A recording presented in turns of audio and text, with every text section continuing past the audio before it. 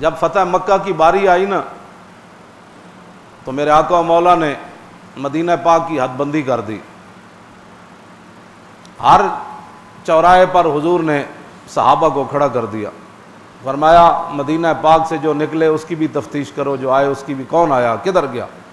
اور حضور نے دعا مانگی، یا اللہ مکے والوں کو کہ کان بھی بند کر دے، آنکھیں بھی بند کر دے۔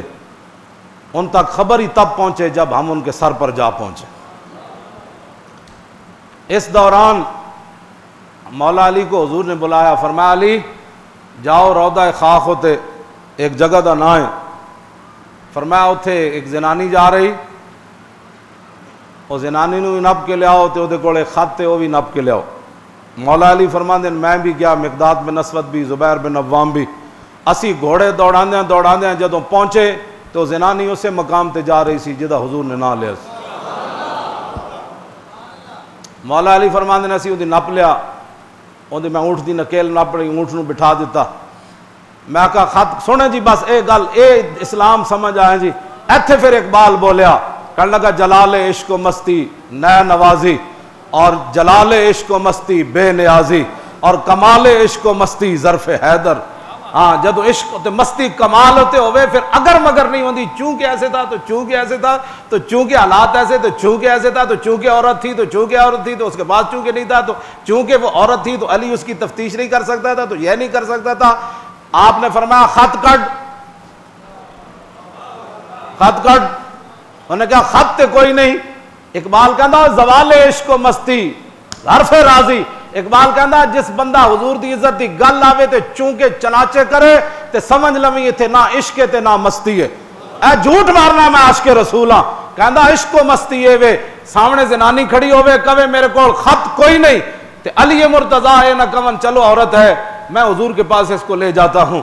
کہوں گا حضور یہ عورت ذات تھی، خط بظاہر تو اس کے پاس کوئی نہیں تھا۔ تو میں اس کو لے آیا ہوں، اب آپ خود اس سے تفتیش کر لیں۔ اگر خط ہے تو ٹھیک ہے۔ علی مرتضی نے فرمایا خط کڈ۔ انہوں نے کہا خط تے کوئی نہیں۔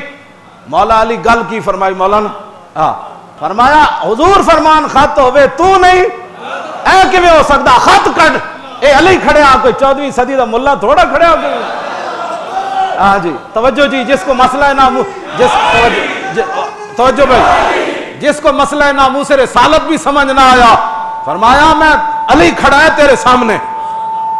آخر تے پھر فرمایا لنک تو لنہ کے تے فرمایا جی میں نے ٹکڑے کر کے تیرے ڈڈ جو ہی کڑنا پیانا تے علی تیرے ٹکڑے کر کے بھی خط کڈے گا۔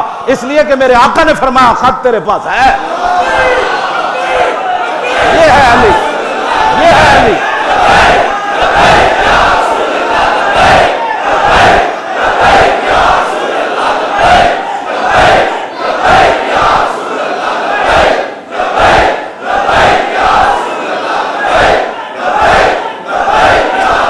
توجہ یہ ہے جی ہاں یہ ہے